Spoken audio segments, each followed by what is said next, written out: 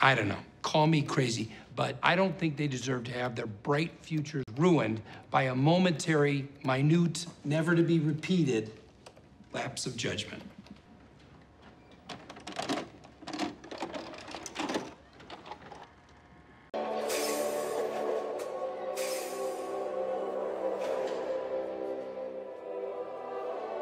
Master Skywalker, there are too many of them. What are we going to do?